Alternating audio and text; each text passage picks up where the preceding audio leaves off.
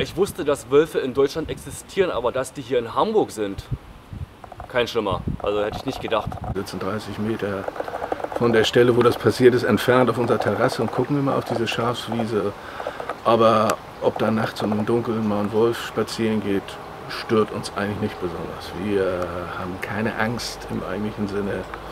Natürlicher Vorgang, bedauern das für den Schäfer, hoffe, der wird entsprechend kompensiert, aber ansonsten wir selber und soweit ich weiß auch unsere Nachbarn machen sich keine großen Sorgen. Auch bei den Spaziergängen sind wir unbesorgt in dem, mit dem Vertrauen, dass die Wölfe eigentlich eher die Nähe des Menschen scheuen. Ich glaube nicht, dass die eher weglaufen. Also soweit wie ich gehört habe, sind schon viele ziemlich nah an Wohnhäuser rangekommen, die halt ähm, nach Futter gesucht haben. Der Lütte, wenn ich, wenn ich das den heute Nachmittag erzähle, wenn ich aus dem Kindergarten abhole, dann ist natürlich erstmal die Euphorie da. Er wird wahrscheinlich sofort auf die Wiese rennen wollen, Wölfe kicken, so wie er es gewohnt ist von Schwarze Berg oder sonst wo.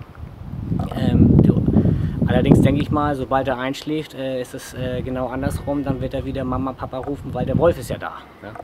Also, ja, wir haben jetzt hier einen Wildpark direkt vor der Tür.